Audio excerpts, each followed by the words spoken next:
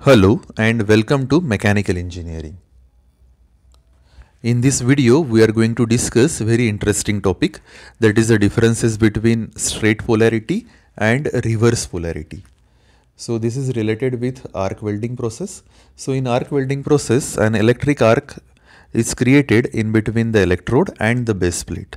This arc creates the necessary heat and that heat will fuse the two base plates together and sometimes the filler material also. Okay, so base plate is connected to one terminal whereas electrode is connected to another terminal. And depending on this connection, we are getting straight polarity and reverse polarity. As we already know, the electrons are always flow from negative terminal to positive terminal. So it depends on the connection that we have made okay so now we will discuss the differences between straight polarity and reverse polarity. So for differentiating these two polarities i have made two different column and for better understanding i have added certain figures below those points. Okay so the very first point in direct current straight polarity electrode is connected with the negative terminal of the power source and base metal are connected with positive terminal. So here you can see the straight polarity. Now at the left hand side there is a power source and that power source has two terminal positive and negative. So in straight polarity the, the electrode is connected with the negative terminal whereas the base plate is connected with positive terminal. Okay. So whenever the electrode is connected with negative terminal and the base plate is connected with positive terminal such a condition is known as straight polarity. Now we will discuss reverse polarity. So in direct current reverse polarity, base metal are connected with negative terminal of the power source and electrode is connected with positive terminal. So here also you can see the power source at left hand side. It has two terminal negative and positive. But here the electrode is connected with positive terminal whereas the workpiece is connected with negative terminal. Hence it is known as reverse polarity.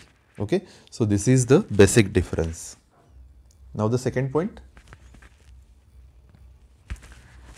Under sufficient potential difference, electrons are liberated from the tip of electrode and strike the base metal surface.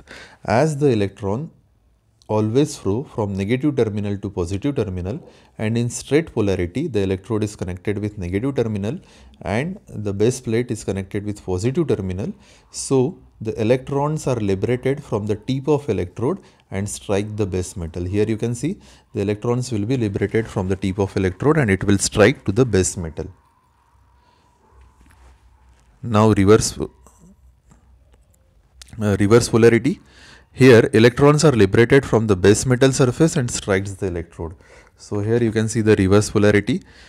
Here the workpiece is connected with negative terminal and the electrode is connected with positive terminal. So the electrons are liberated from the workpiece and it will travel towards the electrode. Next point, almost two-thirds of the total arc heat is generated near the base plate, base plate and rest is generated at the electrode tip. As the electron flows from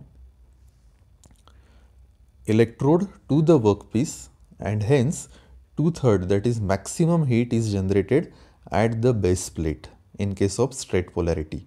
So almost two-third of the total arc heat is generated near the base plate and rest heat is generated at the electrode tip. Now reverse polarity. Here two-third of the total arc heat is generated at the electrode tip and rest is generated near the base plate. So as as the workpiece is connected to the negative terminal and electrode is positive terminal. So electron starts moving from base plate to the electrode and hence the maximum heat is generated at the electrode tip. Next point. Proper fusion of the base plate can be achieved easily with straight polarity as more heat is generated at the vicinity of base metal. So it eliminates the lack of fusion and lack of penetration defects as the maximum heat is generated at the workpiece and hence there is a proper fusion of the base plate. Okay, so it eliminates the lack of fusion and lack of penetration defects. So we will be getting very less defect in case of straight polarity. Now reverse polarity. Due to less heat generation near the base metal, incomplete fusion of the base metal may be encountered. This may lead to lack of fusion and lack of penetration defect. Now here the maximum heat is generated at the electrode tip and less heat is generated at the base plate. So there may be a chances of lack of fusion or incomplete fusion of the base metal and this may lead to lack of fusion and lack of penetration defects. Next point. In case of consumable electrode, filler metal deposition rate is quite low.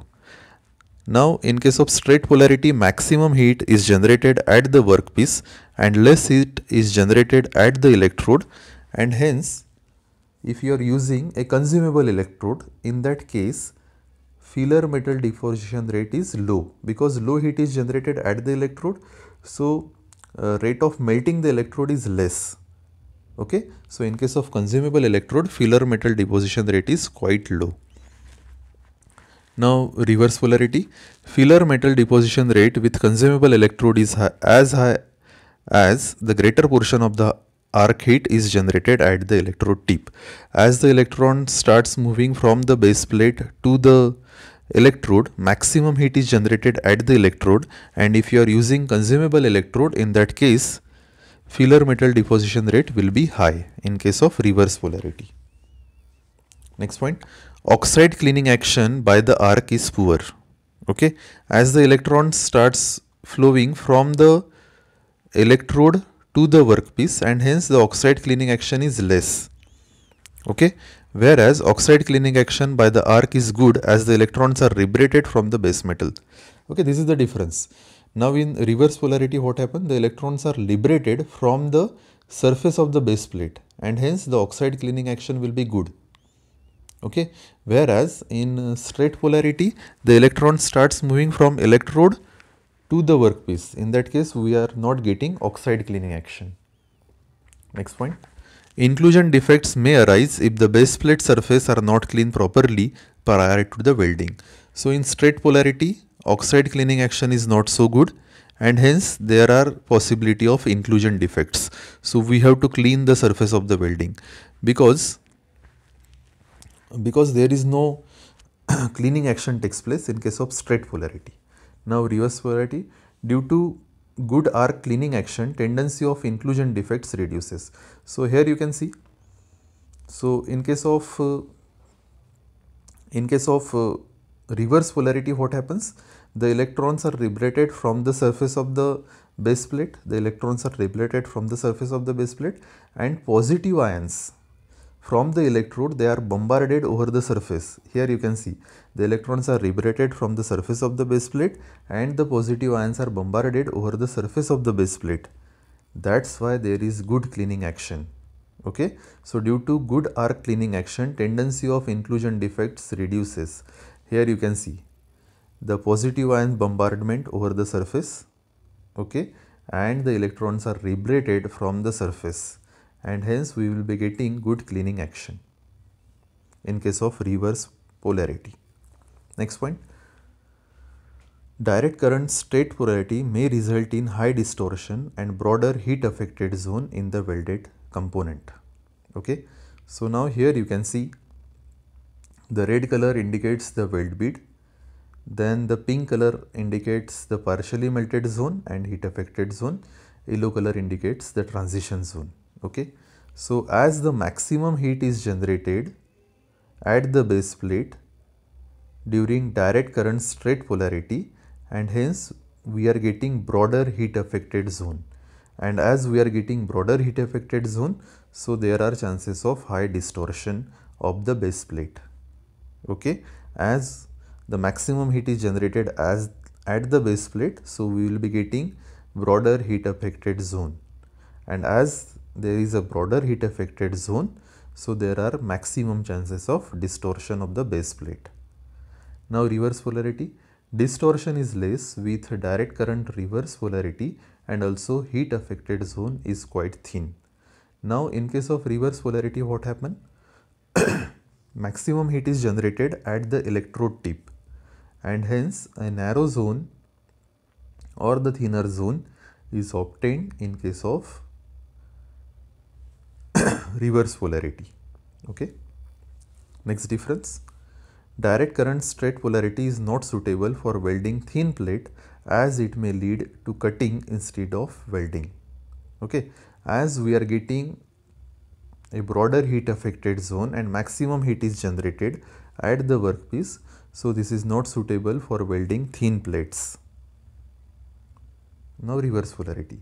So direct current reverse polarity is suitable for welding thin plates as the maximum heat is generated at the electrode tip and less heat is generated at the surface of the workpiece.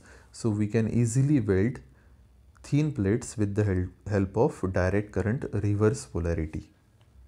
Next point, metal with high melting temperature such as stainless steel, titanium can be advantageously joined by direct current straight polarity as the maximum heat is generated over the surface of the base plate. So, the metals with high melting temperature like steel and titanium we can easily weld with the help of straight polarity. Now reverse polarity. Metal with low melting temperature such as copper, aluminium can be suitably joined with direct current straight polarity. So as the late, less heat is generated at the base plate, so the metal with low melting temperature such as copper and aluminium we can suitably join with the help of direct current straight polarity. So this is the difference in between direct current straight polarity and direct current reverse polarity. This is also known as direct current electrode negative and direct current electrode positive. Thank you so much for watching this video.